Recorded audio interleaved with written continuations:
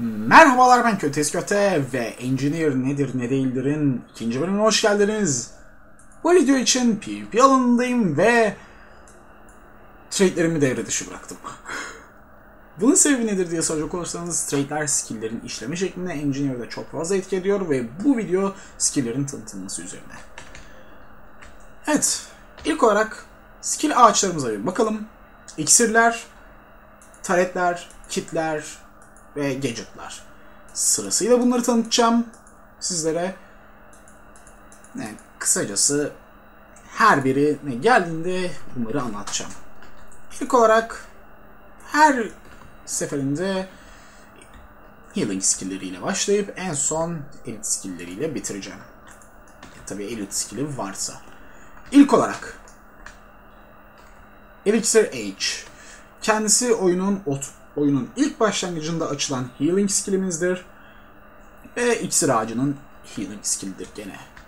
Ee, özelliklerine gelecek olursanız güzel bir healing sağlar. 6K'lık healing, healing sağlıyor şu an bana, şu anki bir yılında.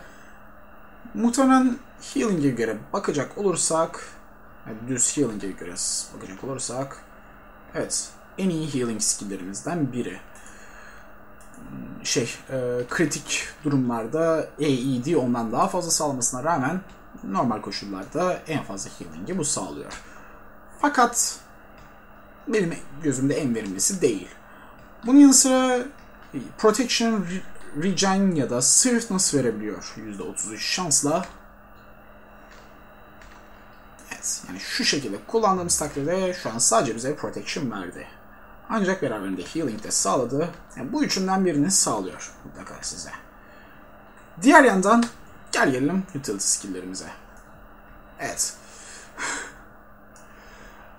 İlk olarak Elixir B. Benim neredeyse çoğu build'ımda kullandığım bir iksir kendisi. Olayına gelecek olursak kendisi bize Fury veriyor, Might veriyor, Retaliation veriyor ve Swiftness veriyor. Evet. Kısacası kombat esnasında aşırı işe yarayan bir iksir. Ayrıca fırlatma versiyonlarından bahsedelim. İksirlerde fırlatıyorsunuz. Toolbat skilllerinde. Ee, bu arkadaş rastgele ihtimalle 3 trade'den birini sağlıyor. Bunda ne sağladı bize? Vigor sağladı arkadaşımıza. Kısacası takım arkadaşlarınıza destek veriyorsunuz bu şekilde. Elixir B'de gene bunlardan bir, bir ya da birden fazlasını rastgele bir biçimde veriyor. Swiftness ve Stability verdi. Belki Might da vermiş olabilir. Bu arada bu arkadaş da Engineer'miş. evet. Elixir U benim çok sevdiğim bir skill. Gene ancak çok fazla kullanamadığım bir skill çünkü cooldown yüzünden. Ee, kendisi bize quickness veriyor ki zaten asıl odak noktası orası. Quickness skill'leri daha hızlı kullanmamızı sağlıyor. Normalde şu atak hızımken atak hızım buna dönüşüyor gibi düşünebilirsiniz. Bunun yanı sıra Frenzy veriyor ki bu condition ve normal power'ımızı arttırıyor. Might'ın neredeyse aynısı gibi bir şey. Aralarındaki farkı bir türlü anlayamıyorum e, haste veriyor ki bu kritik şansımızı artırıyor. Bunun yanı sıra okuduğunuz üzere şey e, stun kırıyor. Yani stun yediğimiz takdirde bu skill kullanabiliyor. Ancak yüksek cooldown'lı yüzünden pek mantıklı bulmuyorum stun kırmak konusunda. Toss skill'i yani fırlatma skill'i ilginç bir yapıya sahip diğer iksirleri aksine kendisi iki tane spell'den birini rastgele bir biçimde veriyor şu şekilde yönünü belirliyorsunuz. Şu an Smoke Screen verdi. %50 ihtimalle bunu veriyor. Geri kalan %50 ihtimalle de e, Guardian'ların Shield'ını veriyor. İkisi de güzel reflektif skill'ler. Kısacası defans için güzel bir arkadaş kendisi. Elixir S normal işlevi olarak e, en tuhaf iksirlerden biri olabilir. Kendisi bunu yapıyor. Bizi ufaltıyor, hızlandırıyor ve damage vurmamızı ama beraberinde de damage almamızı tamamen engelliyor. O yüzden de güzel bir kaçış skilli. Ee, bu TOS versiyonu ise 5 target'a kadar yani 5 kişiye kadar görünmezlik vermemizi sağlıyor. 4 saniye, yani 5 saniye sürüyor bu görünmezlik. Yani kısacası gene işe bunun fırlatma skill'i gayet işe yarar bir skill. Ondan sonrasında Elixir C ve Elixir R. Elixir C'nin olayı bizim üstümüzde eğer bir bir ya da birden fazla condition varsa bunların hepsini bool'una çeviriyor. Yani e, üstümüzde bleeding, burning, confusion vesaire varken bunu kullanıyoruz ve bunlar bize protection, swiftness, might olarak geri geliyor gibi düşünebilirsiniz. Rastgele dönüştürüyor ancak dönüştürüyor. Fırlatma skill'i e, iki tane kon takım arkadaşımızdan iki tane condition siliyor. Olayı bu. Hadi doğrusu condition'ı silmiyor, condition'ı buluna çeviriyor. Yani bize verdiği etkinin bir değişiği. Güzel bir etki ama. İkincisine gelelim. Şu. Dodge attığımızda şu barı kullanıyoruz. Bu barın dolma hızını görüyorsunuz. Çok yüksek değil. Bunu kullandığımız takdirde baştan aşağı doluyor. Ayrıca e, herhangi bir immobilize efekti varsa üstümüzde yani kımıldamamızı engelleyen bir efekt varsa bunu sıfırlıyor. Yani kaldırıyor. E, fırlatma özelliği muhtemelen en işe yarar kısmı olabilir. Kendisi hem conditioner'ı siliyor ama şey e, daha bir condition siliyor ancak dönüştürmüyor. Ee, ve düşmüş bir adam varsa yani düşmüş bir takım arkadaşımız varsa onu yavaşça kaldırıyor. 5 target'a kadar. O yüzden de gayet güzel bir skill yine. Kısacası takım arkadaşlarınız yerdeyken kullanabileceğiniz bir skill. Diğer yandan iksir ağacının elit skilline gelelim. Elixir R. %50 ihtimalle bizi bir Tornado'ya ya da Rampage'e çevirebiliyor. Yani bu ikisinden birine çeviriyor. Bunlar e, Elementalist'in ve e, Warrior'ın elit skill'leri. Mesela beni şu an Tornado'ya çevirdi ve Tornado formundayken gördüğünüz gibi bir hortumum. Canım hayvan gibi arttı ve total DPS'im bayağı yükseldi. Rampage'e dönüştüğümde Warrior'ın Rampage şu deve dönüştüğü formuna dönüşüyoruz. Ve bunun toz yani fırlatma skill'i muhtemelen oyundaki en eğlenceli fırlatma skill'i olabilir. Mesmer'ın da sahip olduğu bir skill kendisi. 3 tane düşmanı Moa'ya çeviriyor. Yani bunun anlamı 3 saniye boyunca o arkadaşlar hiçbir şekilde bir skill kullanamayacak. Daha hiçbir saldırı yapamayacak. Daha sonra Mua'nın saldırını yapabilecek ancak güçlü değiller. Yani kısacası işe yaramaz olacaklar. Ki bu kritik anlarda dövüşte inanılmaz derecede güzel bir olay. Evet, bir sonraki ağacımız ise taretler. Taretler ilginç bir konsept. Kendisi sabit bir biçimde duran ve değişik fonksiyonlar gerçekleştirebilen arkadaşlar. İlk olarak healing skillimiz. Healing Turret. Kendisi sürekli buraya bir heal basan bir arkadaş atıyor. Ortama regeneration ve healing veriyor. Kısacası yakında duran insanların canını arttırıyor. Ayrıca tekrar tıkladığımız takdirde şöyle bir olay geliyor ve bu gene healing turret'i ilk koyduğumuzda bize verilen healing'i veriyor. Regen daha fazla regen veriyor ve beraberinde üstümüzdeki iki tane condition'ı siliyor. Kısacası fazlasıyla güzel bir skill. Ve ayrıca bir adet water combo field sağlıyor. Kısacası neyse devam edelim. Detonate Healing Turret bize güzel bir detonation veriyor. Bu. Aynı zamanda bir blast tas blast combo finisher saldığı için bunu ve bunu peş peşe kullandığımızda ekstra bir healing alıyoruz. Neyse. Ee, Regen'e gelelim. Nasıl? Regenerating Mist. Kendisi Healing Turret'in e, Tool Belt skill'i. Kendisi çevremizde Regeneration sağlayan bir alan sağlıyor. Bu 5 tane target'a kadar etki ediyor. Yani PvP'deyken bütün ekibe Regeneration verebiliyorsunuz ve Water Combo Field da sağlıyor. Şimdi gel gelelim Rifle Turret. Kendisi rifle işini gören bir arkadaş. Ee, güzel bir DPS vuruyor. Her 2 saniyede bir ateş ediyor. Otomatik fire'a geçtiğimiz takdirde bu fire rate biraz artıyor. Bir süreliğine. 10, 10 saniye boyunca fire rate'i artıyor yani. Kısacası daha güçlü bir damage vuruyor ve beraberinde burada gördüğünüz gibi vulnerability'yi arttırıyor. Ayrıca bu taretin range'i 1000. Yani güzel bir range'i var. Detonate edelim. Ee, tool belt skill'ine gelecek olursak surprise surprise shot. Bu atak güzel bir atak çünkü biz yerdeyken bile bu atağı kullanabiliyoruz. Şu şekilde güzel DPS vuran şaşırtıcı bir saldırı sağlıyor. Bir sonraki taretimiz Flame Turret. Kendisi benim favorim olabilir. Her 3 saniyede bir e, ateş, alev püskürtüyor. Tabi burada bir düşman olmadığı için gösterilmiyor. Tekrar tıkladığımızda ise blind veriyor. Evet. Ee, kendi radius'ı 500. ikinci skill'in radius'ı biraz daha kısa. Ve birden fazla tank da sal aynı anda saldırıyor. Güzel bir skill'dir kendisi.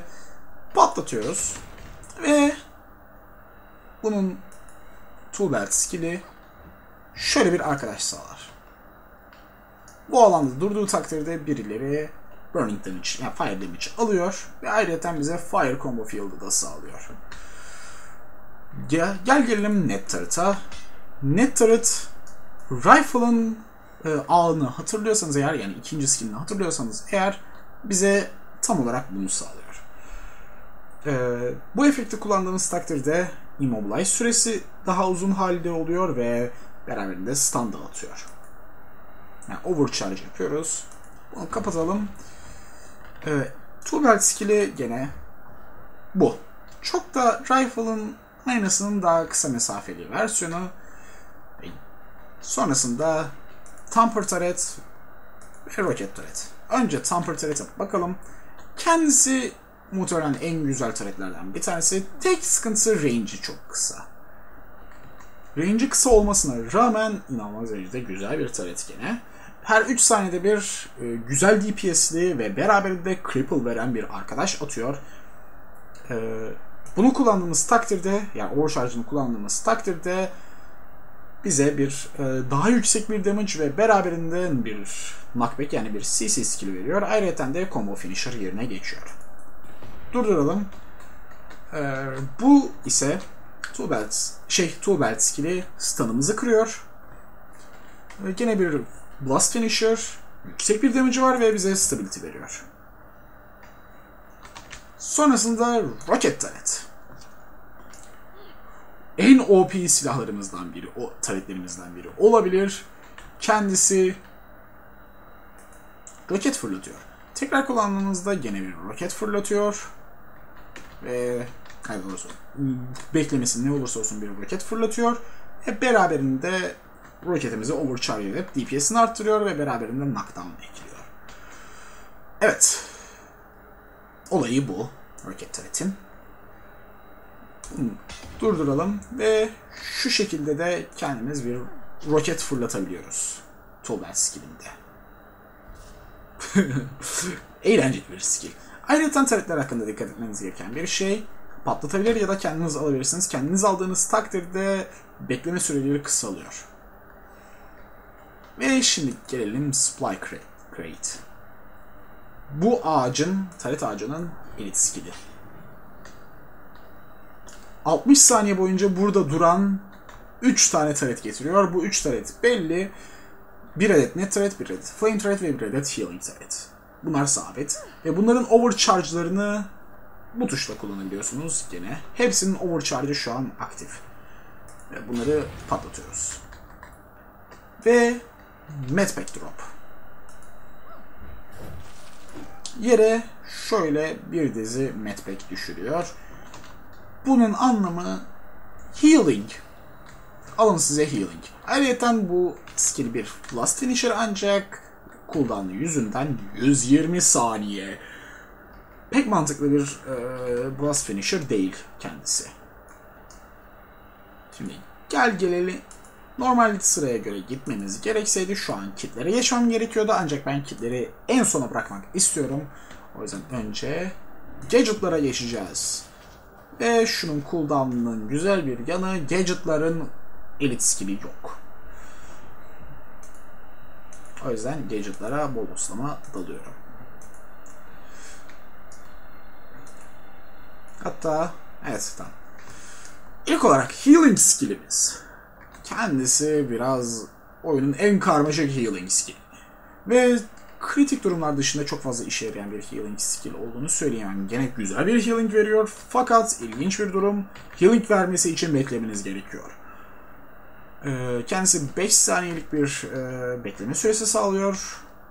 Ve o 5 saniye geçtiğinde size 4K, 4.5K'lık bir healing veriyor. Fakat o 5 saniyenin içerisindeyseniz ve kritik bir duruma geldiyseniz yani canınız bayağı düştüyse bu verdiği can 13k oluyor ki bu canınızın büyük çoğunluğu demek oluyor. Yani yarı canınızı dolduruyor tek skill'de.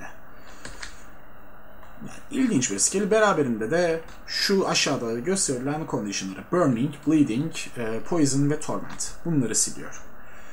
Tool Belt skill'i herhangi bir healing ile alakası yok.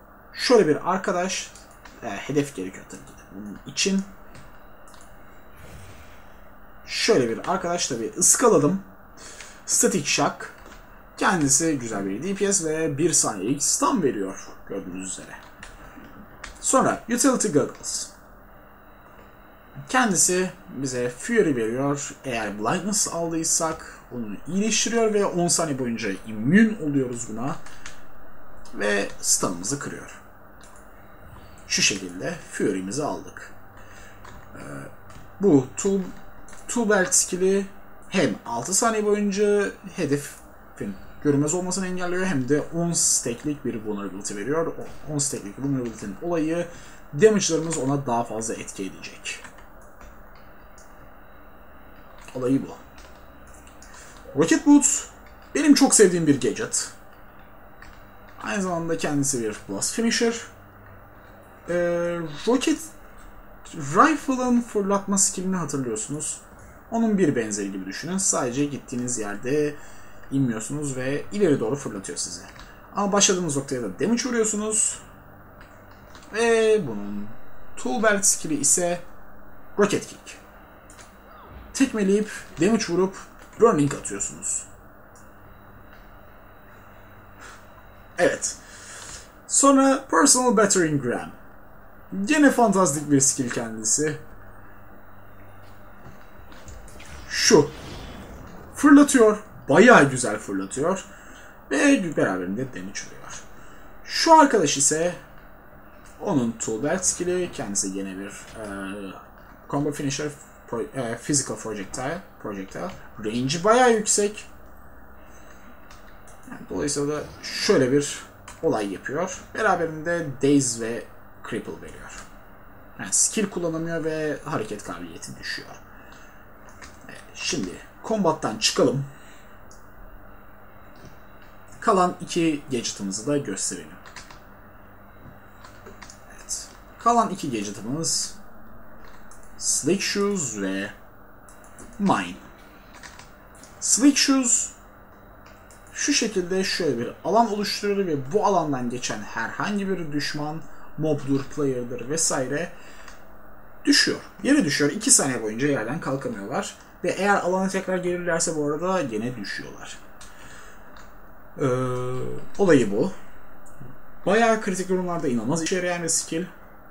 Ve Toolbelt skill'i bize 5 saniyelik super speed veriyor ve stun'ımız varsa o stun'ı kırıyor. Ardından Troll Mine. Bu da ilginç bir skill. Kendisi bir çeşit tuzak, tuzak skill'i. Şöyle bir alan koyuyor ve bu alandan bir düşman geçtiği takdirde patlıyor. Patladığında bu biz knockback veriyor, damage koyuyor ve vulnerability veriyor. Tabii bunu kendimiz de devreye sokabiliyoruz. Ve belli olduğu üzere kendisi bir blast finisher. Ayrıca şu var, Minefield. Hemen yanımıza şöyle mayınlar döşüyor ve onları patlatabiliyoruz yine. Güzel bir defansif skill kendisi. Evet, gadgetlarımızı bu şekilde tanımış olduk. Bildiğiniz bu kadar. E şimdi gelelim benim favori kısmıma. Aynı zamanda oyunun, evet, Engineer'in en karmaşık kısmına. Kitler! İlk olarak, ha, tabii şunu da bir geçelim. Medkit, healing skillimiz. Direkt kullandığımızda hiçbir etkisi yok. Ama bir şey dikkat ettiniz, silah skillerimizin hepsi değişti. Ee, kitlerin olayı burada bu. O yüzden kitlere önce toolbelt skillerinden başlayacağım. Medkit'in toolbelt skilli Bandage Self. Kendimizi iyileştirmemizi sağlayan bir skill. Güzel de bir healing sağlıyor ve cooldown'ı kısa görece olarak. Med Blaster e, kendisi healıyor. Direkt hedefi heal diyor. Damage koymuyor. Ancak target'ta bunun varsa ona göre de healing sağlıyor. İkincisi gene heal'layan bir skill ve beraberinde nereye attı? Beraberinde regen efekti veriyor. Üçüncüsü gene heal'layan bir skill ve fury veriyor. Dördüncüsü gene healing ve swiftness. Beşincisi healing ve resistance. Evet. Bu. Medkit'imiz bu. Sonra gel gelelim Grenade Kit'e. Kendisi bütün skilllerimizi, yani silah skilllerimizi Grenade'e çeviriyor. Önce Grenade Barrage'e basalım. Damage çok yüksek diyeceğim ancak size burada düşük gözüküyor. Bunun sebebine gelecek olursak eğer çünkü kendisi o 409 damage'tan bir tane atmıyor. 6 tane atıyor. Ve bunların bazılarının kritik vurduğunu düşünün. Evet, e, vulnerability explosive ağacından geliyor o yüzden hatta onu bir değiştirelim. E, explosive sen alkemiye geç. Ha, combat'tayım. Explosive'i daha net bir biçimde tanıtabiliriz bu şekilde. Hatta explosive combat'tan çık. Heh. Inventions. Evet şu an hiçbir etki olmaması lazım. Gö Gördüğünüz gibi vulnerability şu an yok. Kısacası yani Granite Barrage inanılmaz derecede güzel bir skill. Ee, oto atağımız, bu arada Granite Kit hakkında ufak bir uyarı. Hiçbir atak tam bir oto atak değil aslında. Bunun olayı şu, hedefi illa seçmeniz gerekiyor. Ee, neredeyse her skill, evet direkt her skill 3 tane granate atıyor. Yani bu damage 3 kere vurulacak. Şu şekilde. Gördüğünüz gibi 3 farklı damage vuruyor. Her seferinde toplamda kritiklerle beraber e, 1K'dan fazla damage vuruyoruz o atakla. Ondan sonra ikinci Sharapnel Grenade. Beraberinde Bleeding de atan bir grenade. Güzel bir grenade'tir. Ve alan skill olduğu için şu alan içerisindeki her şey damage kılıyor. E, Flash Grenade damage'ı yüksek değil. Beraberinde Blindness veriyor kendisi. Ee, sonrasında gene damage'ı iyi olan bir arkadaş ve beraberinde chill veriyor. Yani kısacası movement speed'ini ve skill kullanmaya hızını düşürüyor hedefimizin. Beşinci skill Poison Grenade. Zehirliyor. Kendisi şöyle zehir sunuyor. yani kısacası grenade'ler güzel bir hem condition hem de DPS skill'i. Sonrasında gel gelelim Bomb Kit'e. Kendisi güzel bir melee saldırı. Bunun ilk önce Toolbar skill'ine gelelim. Kendisi bayağı ilginç bir skill. Şu canlansın hatta şunu da deneyebiliriz. Evet. Tek sıkıntısı patlama süresi inanılmaz derecede düşük. Ve yüksek. Ancak patladığında yüksek bir damage ve güzel bir knockback sağlıyor. Yani fırlatıyor. Beraberinde de 5 target'a kadar etki ediyor. Skill'lerimize geçelim. Ota atağımız Güzel gene güzel bir DPS saldırısı. Güzel bir damage vuruyor. Bir saniyelik fuse time var. Koyduktan bir saniye sonra patlıyor. Tabi bu trade'lerle değişiyor. Ve 5 target'a kadar etki ediyor. İkinci skillimiz beraberinde burning sağlıyor ve daha fazla alana hitap ediyor. Ve o alan aktif olduğu sürece herkes burning alıyor. 3 saniye boyunca bu alanda duran herkes burning alıp duruyor. Sonraki Concussion Bomb ama zirveyi güzeldir. Beraberinde Confusion veriyor hedefe ve Confusion sayesinde de hem durduk yere damage alıyor hem de skill kullanmaya kalktığı takdirde gene damage alıyor. Beşincisi Smoke Bomb. Kendisi combo field'ı için baya bir kullanılır. Ayrıca de güzel bir line sağlar bu alandaki herkese. Evet. Ee... Ve beşincisi Glue Bomb. Kendisi Cripple ve Immobilize veriyor. Yani alandan geçenlerin durmasını sağlıyor. Sonrasında gel gelelim Flamethrower'a. Flamethrower'ın e, Toolbelt skill'i kendisi bir sonraki saldırılarımızı bir sonraki 3 saldırımızın Burning Awareness vurmasını sağlıyor. 45 saniye boyunca tabii. O 45 saniye boyunca 3 ilk e, vuracağımız ilk 3 saldırı Burning Damage sağlayacak. Gel gelelim oto atağımız inanılmaz derecede seri bir oto atak. Güzel bir DPS ve güzel bir no, e, condition damage vuruyor ve sürekli ateş ediyor. Kendisi aynı zamanda bir alan skill'i kabul edilebilir. Ve bunun en büyük avantajını şurada gösterebilirim. Gördüğünüz gibi normalde çoğu alan skill'inin maksimum target olayı var. Bayağı gördüğünüz gibi neredeyse her tarete saldırıyorum şu an. Ha, kapsam alanındaki her taret şu an damage yiyor benden. Bu skill özellikle farm, flamethrower özellikle farm yapanlar için vazgeçilmez bir skill. O yüzden de farm yapanlar inanılmaz derecede çok fazla kullanıyor bunu. Sonrasında gel gelelim Flame Blast. Kendisi şöyle bir arkadaş atıyor ve bunu havada patlatabiliyoruz. Ya da hedefe değdiğinde patlatabiliyoruz. Kendisi gene bir Blast Finisher ve güzel bir skill. Sonraki bir Knockback skill'i fırlatıyor. Güzel bir CC skillimiz. Bundan sonraki Napalm. Şu an bu alanda duran herkes bir damage yiyor. Aynı zamanda kendisi bir combo field. Fire field. Ve 10 saniye boyunca duruyor. Ondan sonraki ise Smoke Vent. Blindness sağlıyor. Tek olayı bu. Sonraki kitlerimiz Elixir Gun ve Toolkit. Elixir Gun güzel bir ofensif ve defansif skill diyebiliriz.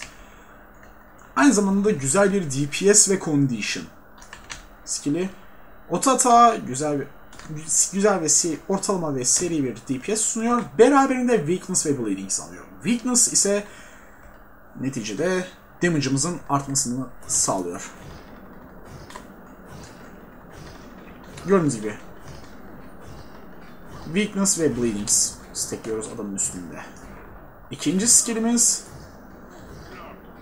Cripple ve Damage veriyor, Cripple veriyor ve bize Swiftness veriyor. Üçüncü skillimiz Poison veriyor. O alan boyunca. Dördüncü skillimiz Acid Bomb. Bu çok güzel bir defansif skill. Bizi geri fırlatıyor hızlı bir biçimde ve orada bir alan oluşturuyor. O alanda durduğu sürece mob ya da player yani kısacası 5 saniye boyunca sürekli damage yiyecek orada. Ve Super Elixir healing basıyor ve bu alanda durduğu takdirde her saniye başı healing basıyor. Her saniye başı değil, toplamda 11 saniye, 11 kere healing basıyormuş. Aynı zamanda kendisi bir light field, kısacası coma field olarak kullanabilirsiniz.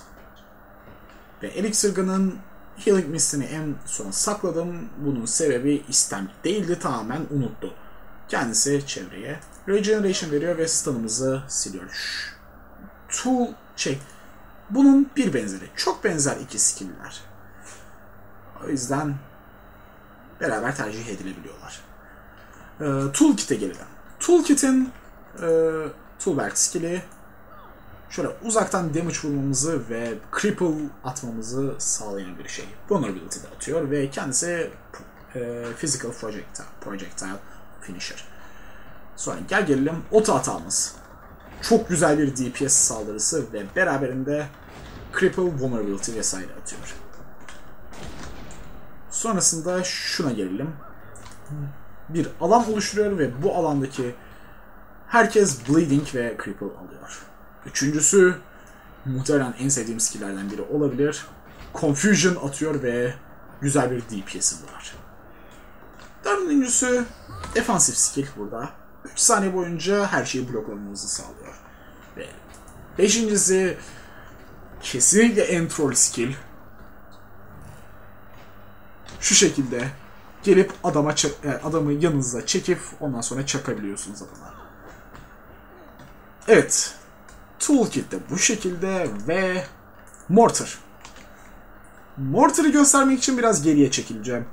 Çünkü Mortar'ın güzelliği burada. İnanılmaz güzel bir range'i var. Mortar'ın e, toolbar skill'i Orbital Strike.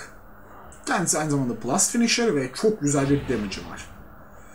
Otata güzel bir DPS olan e, bir Physical Projectile Combo Finisher.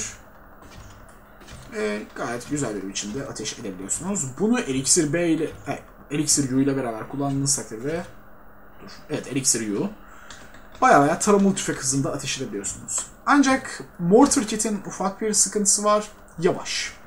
Gördüğünüz gibi zaman alıyor yani gördüğü takdirde kişi onu dodge'layabilir. İkinci skill'imize geliyoruz. Kendisi poison veriyor. Aynı zamanda combo field oluşturuyor. Gördüğünüz gibi buradaki neredeyse evet buradaki her skill bir combo field oluşturuyor. Kısacası ikinci skill'e gelelim. Yani üçüncü skill'e gelelim. Kendisi güzel bir DPS vuruyor gene ve chill basıyor. Ve bunu combo finisher'ımızla beraber uygulayalım. Gördüğünüz gibi güzel efektler veriyor. Pardon combo field koymuşum.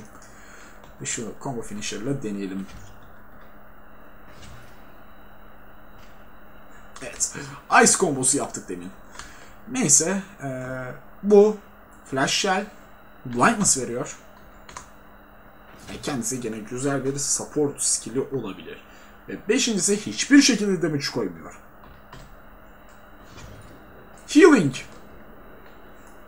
Evet, kitlerimiz de bu şekilde. Engineer'ın skill'lerini tanımış oldunuz.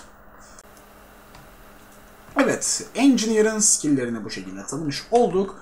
Kitler gördüğünüz gibi hani Weapon Swap özelliğimizin olmayışını bize kapatıyor.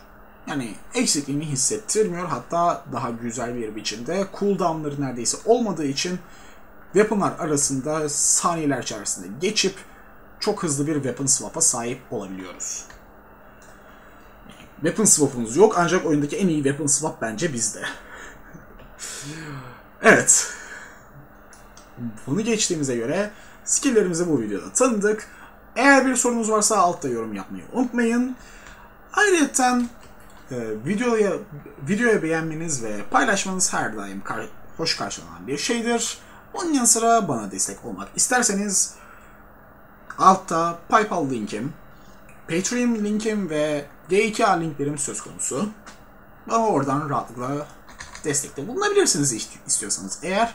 O zaman bir sonraki videoda görüşmek üzere. Köftesi köftene günler, iyi eğlenceler.